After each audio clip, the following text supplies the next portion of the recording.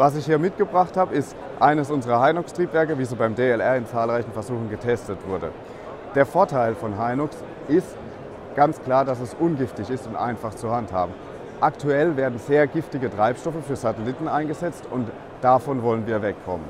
Die Hinox-Technologie bietet durch diese einfache Handhabung geringere Kosten. Die Triebwerke können viel leichter getestet und entwickelt werden und dadurch ergeben sich signifikante Vorteile, gerade für den ganzen New Space-Markt. Einfach zu handhaben, einfach zu testen, schnelle Durchlaufzeiten.